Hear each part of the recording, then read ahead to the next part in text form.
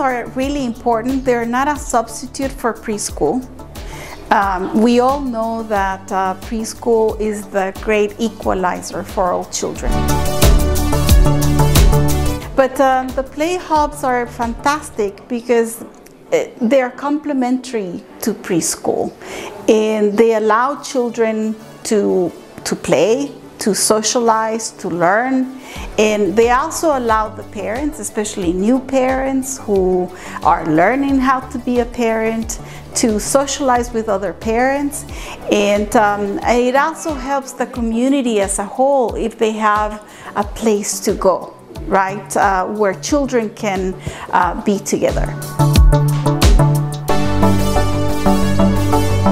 Centar igre je jedno neformalno mjesto u stvari učenja igre i razvoja svakog djeteta i također mjesto susreta odraslih sa djecom i odraslih međusobno, roditelja, ali roditelja i stručnjaka. Nekoliko puta je rečeno da je u stvari igra pravo svakog djeteta i ona je jako bitna. Nažalost, najvećim dijelom zbog siromaštva sva djeca nemaju u stvari dostupnost igara i kvalitetnih igara koje im omogućuju razvoj i učenje i zato smo mi u okviru svakog centra organizirali knjižnicu igračaka.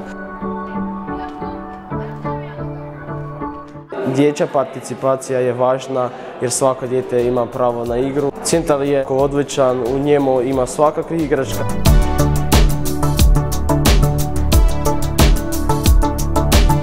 Centar igre je važan za svako dijete, tako da je važan i za grad Čakovec, ali prvenstveno u ovom naselju Kušenca mislim da je on bitan zbog integracije same romske djece u sustav i e, predškolskog obrazovanja i kasnije školskog obrazovanja, ali i normalnog života u zajednici.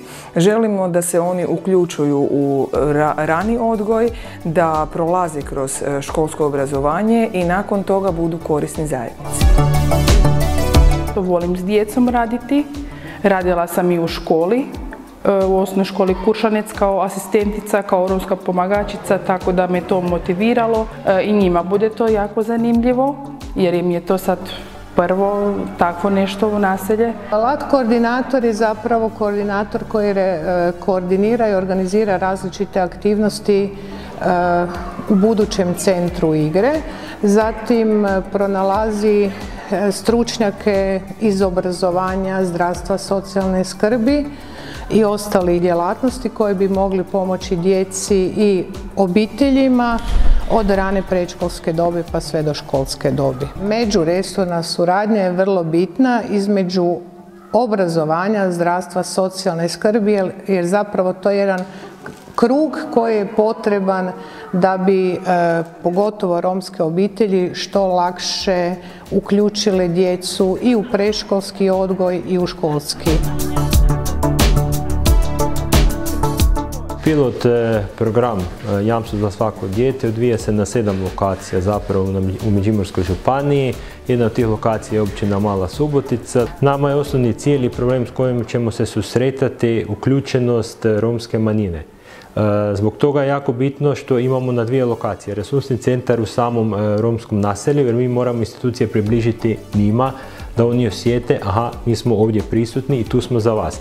S druge strane, ova druga lokacija gdje će biti centar igre je locirana e, u naselju većinskog stanovništva i s tim ćemo pokušati romsku manjinu dovesti unutar većinskog stanovništva gdje će se oni međusobno družiti i zapravo ono što je cilj, roditelji će zajedničkom e, suradnjom uvidjeti da kao roditelj se susreću s istim problemima.